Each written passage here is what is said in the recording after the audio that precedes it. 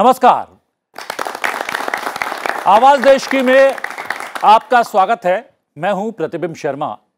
आवाज़ देश की में आज हम विश्लेषण करेंगे शिक्षा मंत्री के उस बयान का, जिसमें उन्होंने इतिहास की गलतियों को ठीक करने की बात कही है।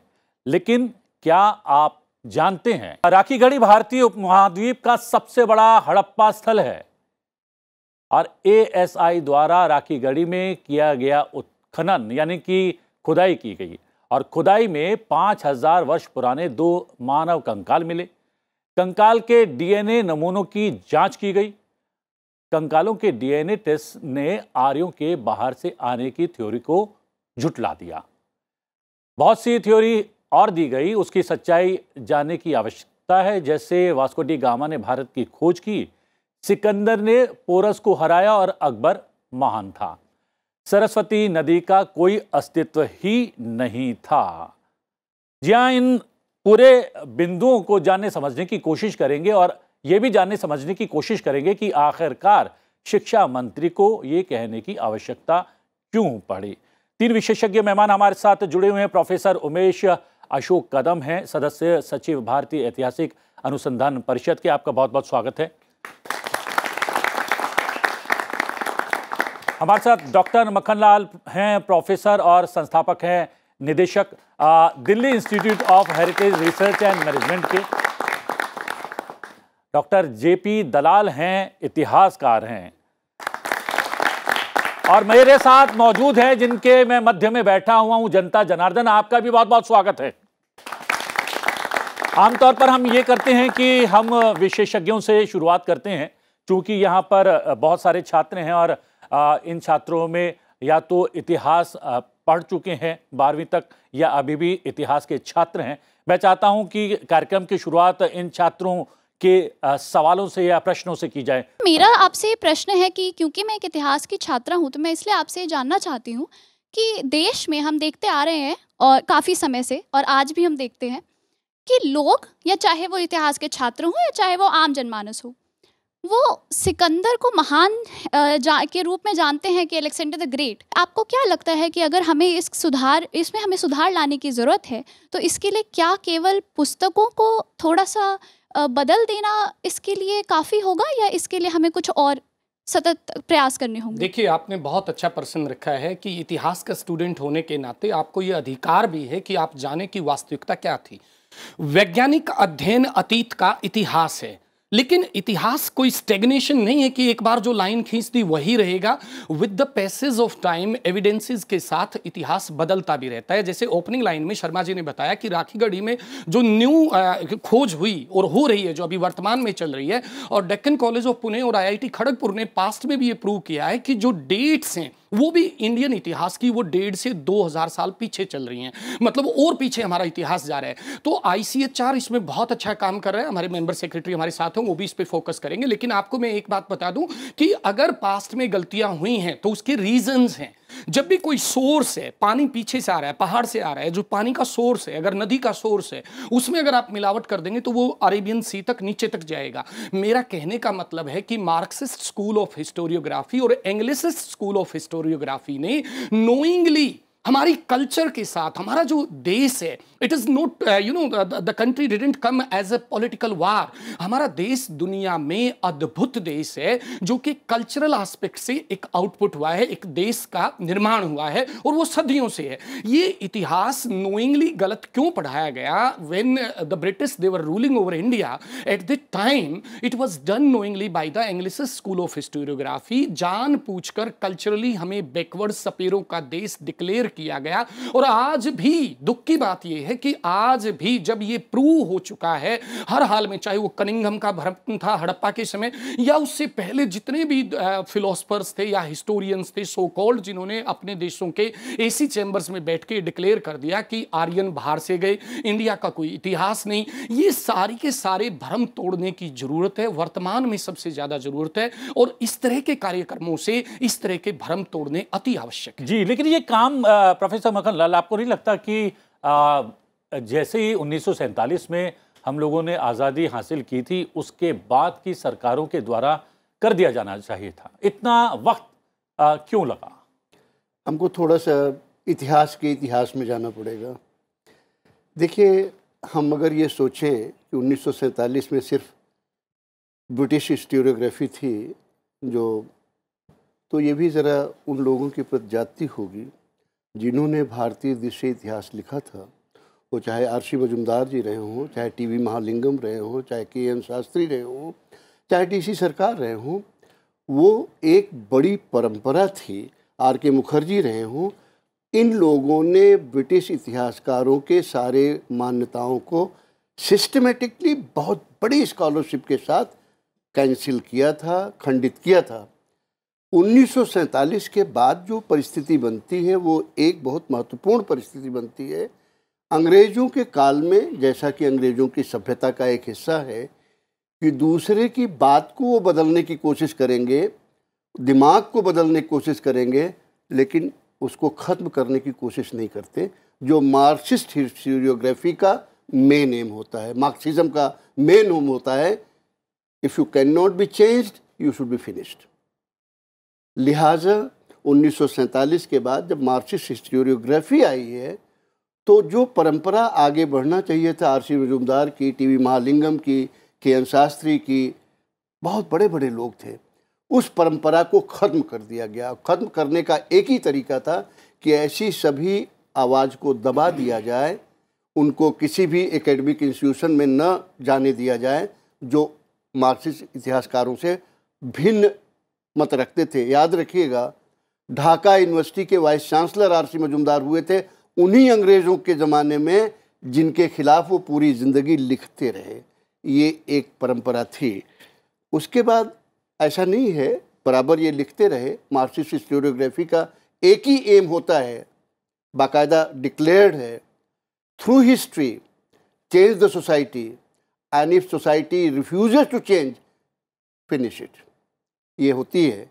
तो भारतीय परंपरा नहीं खत्म हो पा रही थी, भारतीय सभ्यता नहीं खत्म कर पा रहे थे तो एक चीज़ हुआ कि पूरा इतिहास ही खत्म कर दो इस तरह से कि समाज को अपने इतिहास पे शर्म लगे और घृणा करे। उसी तरह से किया गया था। हमें नहीं भूलना चाहिए। 1977 में जब जनता पार्टी सरकार आई थी तो आर एस शर्मा की एंशेंट इंडिया इसी एन से छपी थी जो बैन कर दी गई थी। एन की किताबों के बदलने में मेरी बड़ी भूमिका थी और एंशेंट इंडिया मॉडर्न इंडिया कक्षा एट ये सब सब मैंने कोऑर्डिनेट किया था। कक्षा छः की कक्षा ग्यारह की किताबें एक रोमिला थापा दूसरी आर एस शर्मा द्वारा लिखी गई मैंने रिप्लेस की और पूरे इतिहास का कोऑर्डिनेशन हुआ। लेकिन वो पहला बड़ा प्रयास हुआ था जब किताबों को बदलने की कोशिश की शिक्षा मंत्री ने दुर्भाग्य तो हुआ दुर्भाग्य ये हुआ कि 2004 के मई में जैसे ही सरकार आई है मनमोहन सिंह जी ने शपथ लिया एक हफ़्ते के अंदर अर्जुन सिंह साहब की तरफ़ से ऑर्डर हुआ कि एनसीईआरटी की सारी नई किताबें पोस्क्राइब्ड ख़त्म की जाती हैं। लाखों किताबें जो छपी थी वो जला दी गई और फिर से वही किताबें वापस ला गई जो अब तक चल रही हैं। लिहाजा यह सबका कर्तव्य है कि हमें इस तरफ़ स, मतलब सकारात्मक रुख लेना चाहिए। विद्यार्थियों से मेरा विशेष कर अनुरोध है कि आप सिर्फ़ एन किताबें न पढ़ें सिर्फ़ आर एस शर्मा को न पढ़ें डॉक्टर एस पी गुप्ता क्या लिख रहे हैं उसे भी पढ़ें उमेश कदम क्या लिख रहे हैं उसे भी पढ़ें और बड़े बड़े इतिहास के एस लाल साहब ने मेडोलिस्टी में क्या लिखा आप उधर भी ध्यान दें तभी उमेश कदम के लिए भी बहुत सारे सवाल हैं। जब भी इतिहास पढ़ते हैं तो उसमें बहुत कम ही ऐसा देखने को मिलता है जब सारे इतिहासकार किसी एक एक मत होते हैं किसी तथ्य को लेके। इलेवन ट्वेल्थ की जो हमारी हिस्ट्री है इसमें खास करके जो मेटिवल इंडिया है उसमें सर सिर्फ़ मुगल डायनेस्टी एंड ये दिल्ली सल्तनत सिर्फ़ सर इन इन सब का वेटेज बहुत ज़्यादा होता है। जी प्रोफेसर मिश क्या आ, इसी को बदलने क्या का या इन्हीं चीज़ों को गलतियाँ कह रहे थे शिक्षा मंत्री और उन्होंने कहा था कि इसको बदलने की आवश्यकता है? मैं आप सभी का धन्यवाद देना चाहता हूँ कि पहली बार आपने आईसीएचआर को इस महत्वपूर्ण प्लेटफॉर्म पे जगह दी है। आईसीएचआर गए तीन महीनों के अंदर, चार महीनों के अंदर बहुत सारे प्रपोजल्स और प्रोजेक्ट्स लेके आया है। बच्चों के सवालों में जो महत्वपूर्ण इच्छाएँ हैं अपने देश के इतिहास के बारे में जानने के लिए, और बार बार हम जब प्रयोग करते हैं इतिहास, और अचानक इतिहास से लेके हम हिस्ट्री कहना शुरू हो जाते हैं। पहले तो मैं ये कहना चाहूँगा कि आप ये समझ लीजिए कि इतिहास एक अलग नॉलेज सिस्टम है। हिस्ट्री एक अलग नॉलेज सिस्टम है। इतिहास और हिस्ट्री ये दोनों पैरेलल वर्ड्स हो सकते हैं सेम नहीं हो सकते। भारत में प्राचीन काल से एक इंडिजीनियस ऐसी नॉलेज सिस्टम है जिसको हम इतिहास कहते हैं और ये सारी सिस्टम जो है ये पूरी तरीके से ओरल सिस्टम है। वर्बल ओरल सिस्टम है और our knowledge has been pass to us in an oral format memorisation and keeping things in a right format pronunciation understanding things in a right format and pronouncing it in a right format हमारी जो इतिहास की धारा है, उसमें पहले होता है दर्शन। दर्शन के बाद होता है ज्ञान और ज्ञान के बाद होती है विद्या। अब दर्शन क्या है? जैसे there is a point of view आपने कुछ प्रश्न पूछा है तो there is a point of view point of view पे हम लोग क्या करते हैं? शास्त्रार्थ करते हैं। शास्त्रार्थ करने के बाद उसका अंतर्मुख भी करते हैं और बहिर्मुख भी करते हैं। और उसके बाद एक ज्ञान का प्लेटफॉर्म तैयार होता है। उस ज्ञान के प्लेटफॉर्म को हम ठीक से समझ के उसको थियराइज करते हैं। और थियराइज करने के बाद जो विद्या है, उसको हम कहते हैं पेडागॉगी कि उसको लोगों में हमें कैसे देना है। लोगों के सामने उसे कैसे प्रेषित करना है और उसको लॉजिकली और रैशनली लोगों के साथ कैसे जोड़ना है। This is what is known as the परंपरा विच इज़ इतिहास। इस इतिहास परंपरा को, इस नॉलेज सिस्टम को हमने पीछे कर दिया है। और हम जुड़ गए हैं यूरोपियन स्टाइल यूरोसेंट्रिक स्टाइल में हिस्ट्री को देखने के लिए, जो 19वीं शताब्दी में डेवलप हुआ। उससे पहले वो लोग जूझ रहे थे कि मैं कौन से डिसिप्लिन से देखूँ। एंथ्रोपोलॉजी से देखूँ पॉलिटिकल साइंस से देखूँ सोशोलॉजी से देखूँ इकोनॉमिक से देखूँ, किसको मैं इतिहास कहूँ? इसके लिए उनका बहुत बड़ा डिबेट शुरू था। पॉजिटिविस्ट फ़ेज़ था रोमांटिस्ट फ़ेज़ था एनलाइटनमेंट फ़ेज़ था। हम तो पहले से ही एनलाइटन थे। हमने कभी भी पीरियडाइजेशन में विश्वास नहीं रखा। इतिहास धारा जो है, भारतीय इतिहास धारा जो है, उसमें प्राचीन, मध्ययुगीन, अर्वाचीन ऐसी धाराएँ नहीं होती है। हम सब कुछ एक तरीके से क्रोनोलॉजिकल ऑर्डर में जानने की कोशिश करते हैं। और यही शिक्षा मंत्री कह रहे हैं कि हमें इसी ज्ञान शाखा में जाना है, इसी नॉलेज सिस्टम को हमें आगे लेके जाना है, जो हमारी नई राष्ट्रीय शिक्षा नीति है, उसमें भी इंडियन नॉलेज सिस्टम के बारे में बात की है। और इसी को हमें आगे जाके सोचना है। ये हुई एक बात। दूसरी बात, जैसे यहाँ पे एक स्नातक बैठी है, इसने अच्छा प्रश्न पूछा, कहती कि मुझे सारा कुछ अभी मध्ययुगीन के फॉर्मेट में मुझे जो पढ़ाया जाता है, उसमें मुगल और सल्तनत पीरियड दिखाया देता है। तो तेरहवीं शताब्दी से लेकर सत्रहवीं शताब्दी तक जो सल्तनत पीरियड और मुगल पीरियड है, जो कि हालाँकि 180 पीरियड्स और 160 पीरियड्स का पीरियड है, उसको आपने पूरे देश का इतिहास बना के छोड़ दिया। जबकि आठवीं शताब्दी से लेकर चौदहवीं शताब्दी तक और चौदहवीं शताब्दी से लेकर अठारहवीं शताब्दी तक बहुत सारी डायनेस्टीज है Indian dynasties Kadamba dynasty Chola Chera Pandya Kakatiya Yadava Satavahana Rashtrakuta Kakatiya Pala ये सारे डायनेस्टीज ने जो इतना सारा कंट्रीब्यूशन किया है मध्ययुगीन काल में। मध्ययुगीन काल डार्क एज नहीं है, यूरोप के इतिहास की तरह। हमारा मध्ययुगीन काल एक जाज्वल्यपूर्ण है। हार्ड रॉक टेंपल आर्किटेक्चर इसी मध्ययुगीन काल में आपको दिखाई देता है। सबसे बढ़िया। और टेंपल क्या है? टेंपल ये सिर्फ़ रिलीजियस एक्टिविटी करने की जगह नहीं है। इसलिए इस साल का जो थीम है आईसीएचआर के कैलेंडर का, वो टेंपल है। टेंपल एक ऐसी सेक्रेट स्पेस है जहाँ पे डिस्कोर्सेज होते हैं, जहाँ पे ज्ञान अर्जन होता है। टेंपल एक ऐसी स्पेस है जहाँ पे फेमाइंस आती है ड्रॉट्स आती है तो उसमें रखा हुआ जो वो ग्रेनरी का भी काम करती है वो बैंक का भी काम करती है वो डिस्कोर्स का भी काम करती है वो स्पिरिचुअल स्पेस का भी काम करती है वो डेमोक्रेटिक फॉर्मेट का भी काम करती है। इसलिए इस साल का जो बुक आया है भारत लोकतंत्र से जननी इस फॉर्मेट के अंदर अगर हम पहले कैलेंडर के रूप में कुछ देना चाह रहे हैं वो हम पूरे टेंपल टेंपल से जुड़े हुए हमारे सारे स्पिरिचुअल फॉर्मेट्स और टेंपल के साथ, हर एक डीएटी के साथ एक पशु पक्षी जुड़ा हुआ है। एक नेचुरल हर्ब जुड़ी हुई है। एक नेचुरल फ्लावर जुड़ा हुआ है। इसलिए मैं ये कहता हूँ कि भारतीय इतिहास परंपरा में जेंडर एनवायरमेंट एटमॉस्फेयर ये सब अलग अलग कुछ नहीं है। ये सब कुछ जुड़ा हुआ है। वो सिर्फ़ एक आपको वहाँ पे जाके प्रार्थना नहीं करनी है। It's not an spiritual activity it is an enlightenment activity it is an reformist activity मध्ययुगीन काल में भक्ति मूवमेंट्स है। भक्ति मूवमेंट्स ने पूरा डायनामिज्म क्रिएट किया है। जी कहीं ना कहीं ये पूरा जो है हमारा इतिहास समावेशी इतिहास था। जी। तो उसके साथ आ, क्या गलती से ऐसा हो गया कि उसको स्थापित करने का प्रयास नहीं किया गया या इसके पीछे कोई मंशा थी? नहीं देखिए इस पर आते हैं। एक लाइन में उस विद्यार्थी की जिज्ञासा थी, उसको पूरा कर दें। उमेश जी ने जितनी बातें कही, उसमें उसमें जवाब सम्मिलित है, फिर भी मैं उसको कर दूँ, आगे बढ़ा दें। आपने कहा कि सभी इतिहासकार एग्री नहीं करते हैं। इतिहास में भी तीन स्थितियाँ बनती हैं। एक होता है सर्वमान्य। भारतीय परंपरा में ही चलेगा वो। सर्वमान्य, जिसमें कोई डिस्प्यूट नहीं है कि अकबर किसका बेटा था, जहांगीर किसका बेटा था, औरंगज़ेब किसका बेटा था, समुद्रगुप्त के, कोई इसमें डिस्प्यूट नहीं होती। वो सर्वमान्य है। दूसरा इतिहास की विधा है बहुमान्य। किसी भी घटना को लेके ज़्यादातर इतिहासकार मानेंगे कि अशोक बहुत बड़ा राजा था, सर्वमा, बहुमान्य है। बहुत कम लोग इस पर, अब अशोक को लेके इस बात पर डिबेट हो सकती है, इस बात पर बहस हो सकती है कि बुद्धम शरणम गच्छाम संगम शरणम गच्छाम। का क्या मतलब था कि अशोक क्या वास्तव में बौद्ध बन गया था?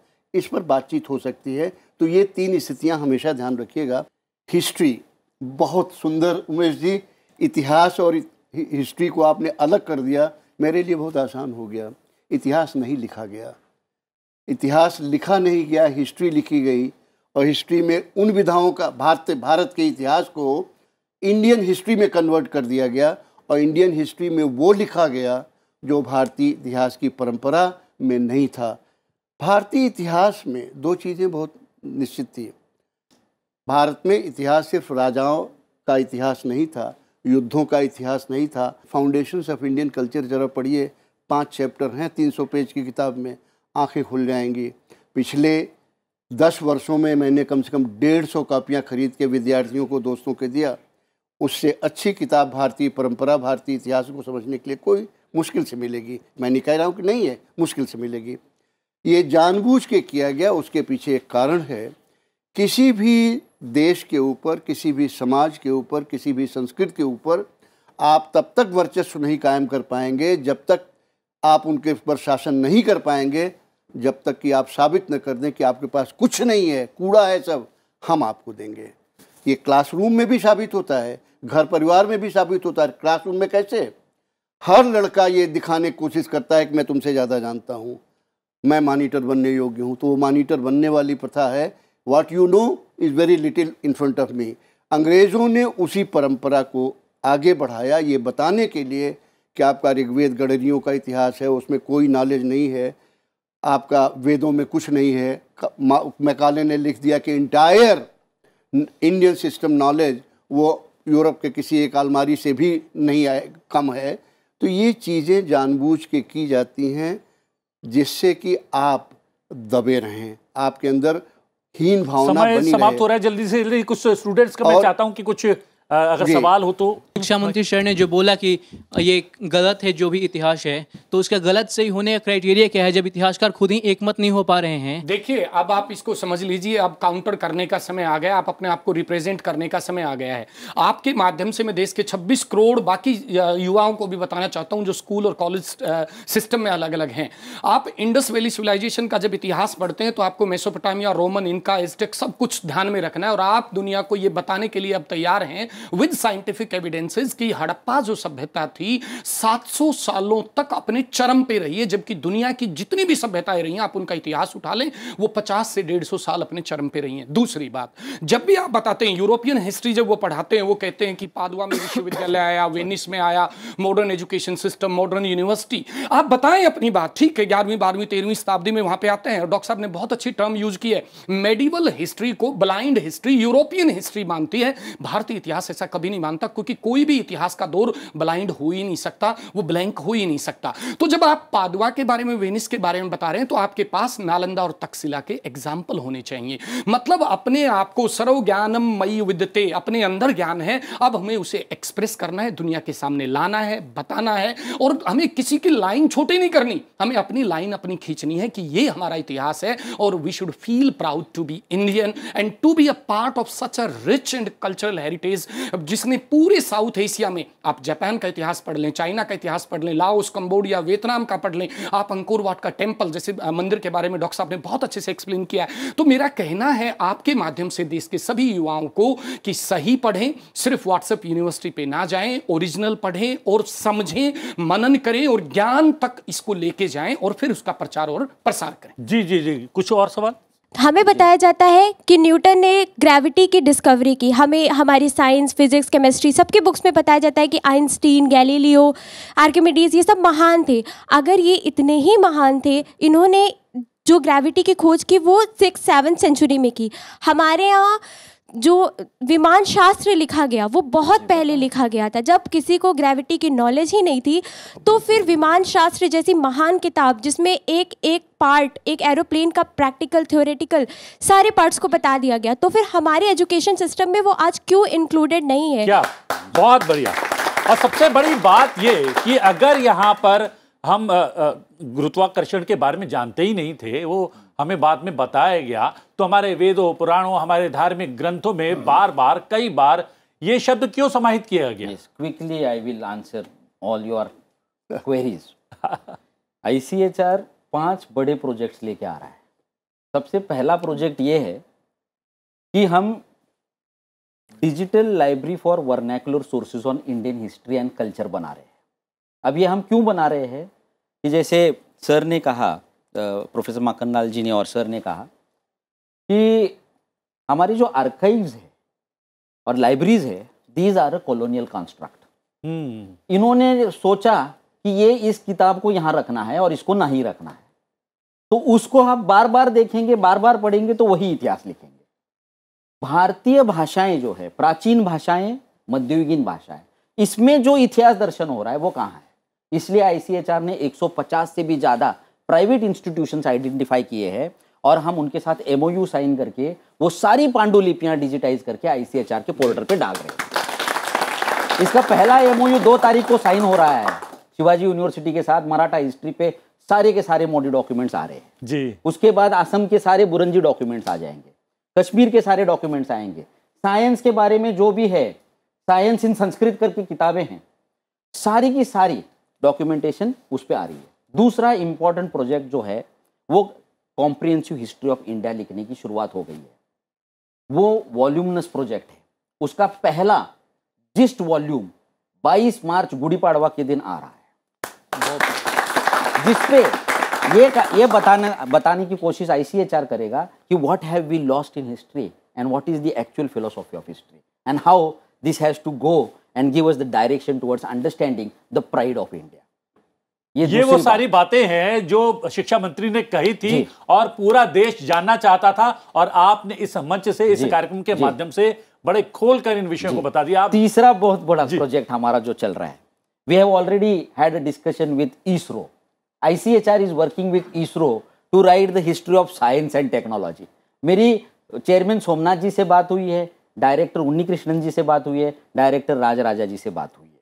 और उसमें 50 परसेंट साइंटिस्ट जुड़ेंगे 50 परसेंट सोशल साइंटिस्ट जुड़ेंगे। और हम ये जो कथाएँ हैं जो हमें कहते हैं कि हमारे ऋषि साइंटिस्ट नहीं थे वो सिर्फ़ ऋषि थे और उनका काम सिर्फ़ धर्म का काम करना था इसको हम पीछे करके हम बताएँगे जग को कि सिर्फ़ ज़ीरो नहीं दिया है पाई की वैल्यू भी दी है हमने आपको एस्ट्रोफिजिक्स भी सिखाया है हमने आपको फिजिक्स सिखाया है हमने आपको एस्ट्रोनॉमी सिखाया है हमने एस्ट्रोलॉजी को कैसे साइंटिफिकली सीखना है वो भी हमने ही बताया है।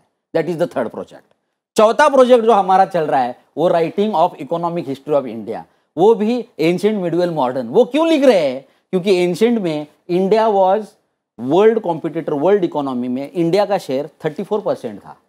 मिडवेल में 24 परसेंट था। 24 और मॉडर्न में जैसे ही ये आइले किताब के लोग आते हैं book of people of the book आते हैं अंग्रेज़ आते हैं यूरोपियंस आते हैं इस्लाम आता है तब हमारा जो है वो 0.5 परसेंट पे जाता है। क्यों जाता है? वाई किसने लूटा हमको? किसने हमारे सारे इंडियन नॉलेज सिस्टम को बर्बाद किया और क्यों किया? सारे एजेंडा जो है वो यूरोपियन यूनिवर्सिटीज में हो और हमारे सारे स्टूडेंट्स ये कहे प्राइड ले कि मैं जाके अमेरिका की यूनिवर्सिटी में पढ़ रहा हूँ। मैं जाके यूरोप की यूनिवर्सिटी में पढ़ रहा हूँ। जबकि प्राचीन काल में और मध्ययुगीन काल में पूरे जग के विद्यार्थी भारत के विद्यापीठों में आके अपनी पढ़ाई पूरी कर रहे थे। आज हमें विश्व गुरु बनना है। आज हमारे पंत प्रधान जी ने हमें नव ऊर्जा दी है नव चेतना दी है। हमें आगे जाके भारत को विश्व गुरु बनाना है भारत के विद्यापीठों को हमें सक्षम बनाना है। एजेंडा यहाँ सेट होगा और फॉलो पूरा जग करेगा। क्या बात। आ, इतना कुछ बताने के बाद बहुत कुछ बचता नहीं है। इस विशेष कार्यक्रम में बहुत कम समय में प्रोफेसर उमेश अशोक आपने बहुत सारे बिंदु पर प्रकाश डाला। प्रोफेसर मगनलाल आपने जो है बहुत ज़्यादा ज्ञान वर्धन किया और दलाल साहब आपने जो है इतिहास की परतों को उकेरने में हम लोगों की मदद की। आप तीनों का बहुत बहुत धन्यवाद। थैंक यू वेरी मच और धन्यवाद जनता जनार्दन का।